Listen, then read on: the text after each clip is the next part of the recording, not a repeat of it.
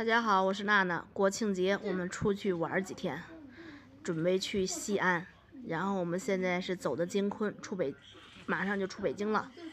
嗯，不堵车，五点多钟出来的，还挺早的，车少啊。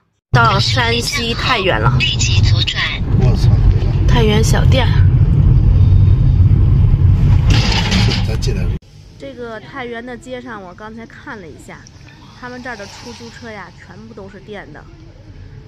这个出租车都是电的，还是很环保的啊，对空气呀有好处。而且这街道呀都特别的干净，挺干净的。这会儿是中午两点来钟吧，我们准备去看个电影，去看一下那个长津湖。在网上买的票，在网上订的宾馆，然后去看长津湖。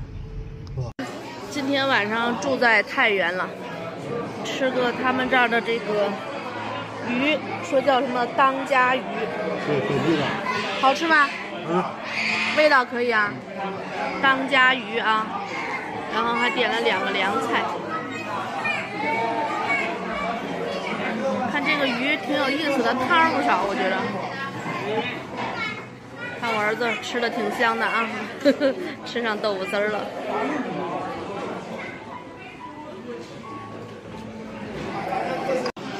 一个这样的豆腐，一个玉米饼，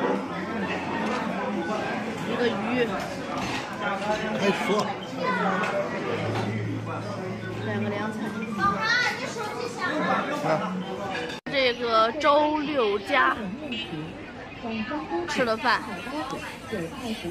点了几个菜，看到没有？这还挺热闹的啊。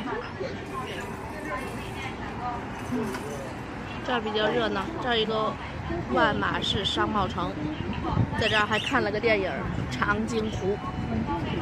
看晚上街上挺热闹。到了这个太原呀，我觉得这小城市还挺接地气儿的。这个胡同里边还有卖小吃的，麻辣小甲鱼，那边还有烤面筋的。啊，今天这边正赶上修路，我们来的这儿呀。正赶上修路，这个呢是康宁生活广场，应该是他们当地的比较大的这种购物购物商圈。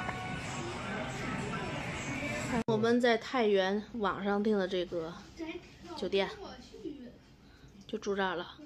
就是这个装修啊，有点儿太暗了，古香古色的感觉。但是十一期间。八十七块钱，这个价格还挺合适的，毕竟它是节假日是吧？这价格还是不错的，而且这儿呀交通也比较方便，外边还挺热闹的，挺繁华的。国庆节期间，酒这个酒店八十七块钱，吃了个饭是花了一百七十八块钱，那几个菜，我觉着还可以啊。